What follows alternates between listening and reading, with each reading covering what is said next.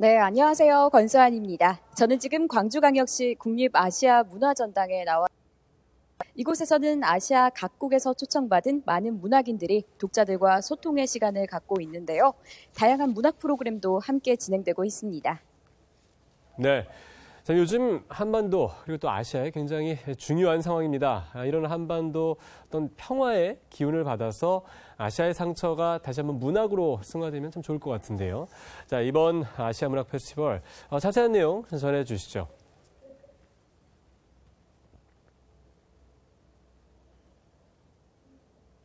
네, 이번 행사는 올해로 2회째를 맞이했는데요. 아시아에서 평화를 노래하자라는 주제로 펼쳐지고 있습니다. 그리고 지금 제가 서 있는 이곳 문 뒤에는 포럼이 되고 있는데요. 제가 한번 안에 직접 들어가 보도록 하겠습니다. 네, 이렇게 안쪽으로 들어오시면 전쟁과 차별 없는 세상을 만들기 위해 세계 각국에서 온 문학인들이 진지하게 이야기를 나누고 있는데요. 큰 소리로 이야기하기 힘든 상황이기 때문에 저도 조곤조곤하게 이곳의 현장을 설명하겠습니다. 네, 이번 행사에서는 한반도의 평화의 대장정과 아시아가 가진 역사적 아픔과 상처를 많은 문학인들에게 알리고 있는데요. 이에 따른 여러 가지 문학 프로그램도 함께 진행되고 있습니다.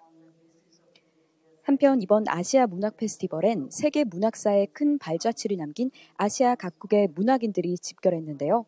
몽골 문학의 거장이자 세계적 인문학자인 담딘수렌 우리앙카이와 중국 현대문학사의 가장 많은 쟁의를 불러일으키고 있는 프란츠 카프카 문학상 수상자 옐렌커 등을 비롯해 문재인 대통령의 여름 휴가철 도서로 화제가 된 소설 소년이 온다의 작가 한강과 시인 나희덕, 문태준 등 국내 대표 문학인들이 한자리에 모였습니다.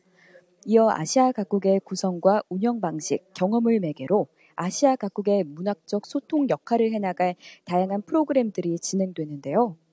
작가들의 작품이나 소품, 사진, 영상, 대표 문장, 도서, 소개 글 등을 전시해 작가와 독자가 함께 소통할 수 있는 문학 난장은 물론 낭송제, 문학 포럼, 다과를 즐기며 문학인들과 환담을 나눌 수 있는 아시아 문학 사랑방 등이 펼쳐집니다. 네, 그리고 이번에 국내 초청 작가 중 한 분이시죠. 송은일 선생님이 이곳에 계신, 계신데요. 함께 이야기 나눠보겠습니다. 안녕하세요. 안녕하세요. 네, 선생님을 비롯해 아시아 각국에서 오늘 많은 분들이 이렇게 오셨는데 공통된 주제를 가지고 있다고 들었습니다. 어떤 주제인가요? 네, 이번에 제2회 아시아 문학 포럼 문학제 페스티벌의 공통점은 아, 주제는 평화고요. 그 평화를 큰 주제가 평화고 작은 주제를 좀 세분하자면 아, 전쟁이 없고 차별이 없는 그런 세상을 향해 나아가는 방법을 모색하자 하는 뜻입니다. 네. 이번에는 특히 독자들과 소통할 수 있는 여러 가지 프로그램이 있다고 들었습니다. 우리 작가님께서는 어떤 프로그램에 참여하시나요? 네, 이렇게 커다랗게 어, 포럼이 있고 컨퍼런스들이 있고 그런데 그 사이사이에 작은 문학 사랑방들이 벌어집니다. 저는 거기에서 독자와의 아, 직접적인 대화 그 시간을 내일 오후에 갖기로 하고 있습니다. 이렇게 독자들과 직접적으로 소통을 함으로써 참 좋은 점들이 많을 것 같아요. 어떤 점들이 있을까요? 음, 작가 입장에서는 자신을 알리는 계기가 될 수 있겠고요. 그리고 독자들의 입장에서는 어, 문학이 먼 곳에 있는 어, 별다른 세상이 아니라 어, 우리 현실 안에서 아주 현실 가까이 있는 현실 속에 섞여 있는 그런 세상이라는 것을 같이 인식할 수 있는 그런 계기가 되지 않을까 생각합니다. 네, 정말 말씀해 주신 것처럼 이번 아시아 문화 페스티벌에서 많은 독자들과 소통하시기 바랍니다. 오늘 좋은 말씀 감사합니다. 네, 그리고 이곳 포럼에 정말 다양한 작가분들이 참여 중이신데요. 이번에는 아시아 문학 페스티벌 집행위원장님과 함께 이야기 나눠보겠습니다. 안녕하세요. 네, 안녕하세요. 지금 이렇게 포럼에 참여 중이신데 혹시 인터뷰 가능하시면 뒤쪽으로 함께 이동해서 인터뷰 진행해 보겠습니다. 네, 먼저 이번 아시아 문학 페스티벌 역시 성대하게 펼쳐지고 있는데요. 올해는 어떤 의미를 가지고 열리게 되었는지 또 어떤 어떻게 열리게 되었는지 설명 부탁드리겠습니다. 예, 작년에 이어서 올해가 2회인데요. 우리가 올해의 주제를 잡을 때 아시아에서 평화를 노래하자는 주제를 이제 잡았는데요. 어, 그것은 올해 우리 한반도에서 평화의 여정이 시작되었잖아요. 한반도의 비핵화와 항구적 평화를 위한 문재인 대통령의 평화의 여정이 시작되어서 거기에 동참하겠다는 의미도 있습니다. 그런데 우리가 이 주제를 갖는 것은 아시아에서 평화를 노래하자고 하는 것은 아시아의 평화가 왔기 때문이 아니라 아시아의 평화가 너무나 멀기 때문에 그렇습니다. 어, 지금 아시아는 물론이고 남미에 보면은 캐러밴의 행렬이 미국을 향해서 가고 있잖아요.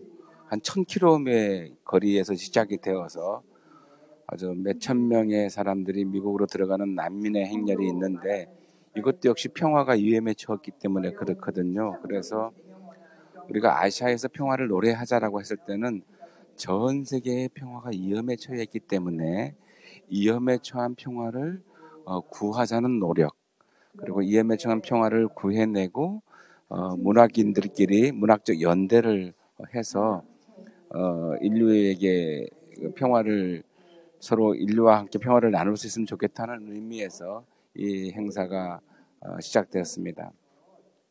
네, 첫날인 어제를 시작으로 오늘부터 본격적인 행사가 이렇게 진행되고 있는데요.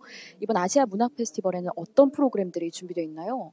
네, 오늘은 현재 역시 평화 섹션으로 어, 첫 번째는 전쟁 없는 세상을 향하여 섹션이 열렸고 지금은 차별 없는 세상을 위하여 섹션이 열리고 있습니다.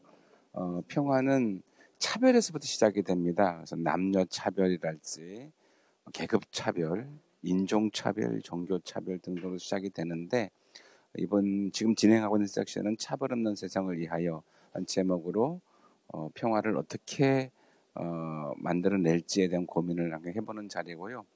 이따 6시에는 대인시장에서 야시장을 열어서 아시아의 작가들하고 광주 시민들하고 한번 섞여서 어, 먹고 마시고 노래하고 노는 그런 자리를 만들려고 합니다. 그리고 내일은 이제 한국문화 탐방을 하게 되는데요. 화순에 있는 운주사에 가서 어, 운주사에 얽힌 이야기들, 특히 이제 운주사에는 미륵사상이 있습니다. 미륵사상이라고 하는 것은 어, 불평등한 세상에 어, 평등한 부처님이 오시기를 바라는데 이 평등한 부처님이 바로 미, 미륵 부처님이세요. 그래서 이제 미륵사상, 한국의 미륵사상을 어, 아시아의 여러 작가들하고 함께 토론하고 논의하는 자리를 갖고 돌아와서는 또 옌랭크 등 아시아의 유명한 작가들이 뭐 대학에 가서 특강을 어, 하기도 하고 그 다음에 이제 금요일 날에는 마지막 날인데요. 폐막식을 하게 되는데 폐막식 전에 어, 아시아 작가들과 한국 작가들이 팝캐스트를 촬영합니다. 이것이 향후에 유튜브에 방송할 거고요. 이어서 폐막식에는 아시아 문학상 발표가 있고 어, 광주 선언 등등이 있습니다. 그렇게 해서 이 아시아에서 평화를 노래하자라는 주제에 맞는 행사 전체가 어, 9일 날까지 진행되게 됩니다. 네, 그렇다면 지금 이렇게 뒤에서도 계속 포럼이 진행되고 있는데요. 전쟁과 차별에 대한 이야기가 오늘 진행되고 있는데, 그럼 또 내일은 또 다른 이야기가 펼쳐진다고 기대해도 될까요? 아, 그럼요. 내일은 이제, 어, 아까도 말했지만 운주사에 가서 미륵 부처님이 왜 한국의 사람들이 미륵 부처님을 그토록 갈망했는지, 그 미륵이란 다른 말로 평화이기도 하잖아요. 그래서 그런 주제들이 계속 반복돼서 다양한 방식으로 얘기가 될 겁니다. 이번 행사를 통해 문학으로 하나 된 아시아의 모습을 기대해 보겠습니다. 오늘 좋은 말씀 감사합니다. 네, 감사합니다. 한편 아시아 문학 페스티벌과 연계된 아시아 문학 레지던시는 다양하게 존재하는 아시아가 만나 다양한 소통을 경험하고자 마련된 교류의 장인데요. 새로운 플랫폼을 제시할 예정이라고 합니다. 참여 작가의 작품 소개와 낭독, 국립 아시아 문화전당 투어 등도 진행됩니다. 또 아시아 문학 낭송제와 아시아 작가들의 평화를 향한 다양한 목소리를 들어볼 수 있는 아시아 작가 팟캐스트도 마련됐는데요. 폐막식에서는 아시아 문학상 시상식과 2018 광주 선언문을 발표할 예정입니다. 이번 2018 아시아 문학 페스티벌은 11월 9일까지 광주광역시 국립아시아문화전당에서 만나보실 수 있고요. 더 자세한 내용은 국립아시아문화전당 사이트에서 확인하실 수 있습니다. 네, 역사적 아픔과 슬픔을 문학으로 승화시킨 2018 아시아 문학 페스티벌 현장 소개해 드렸습니다. 이번 계기로 한반도 평화의 대장정이 세계로 퍼져나가고 문학으로 하나 된 아시아를 기대하겠습니다. 지금까지 현장에서 권수환이었습니다.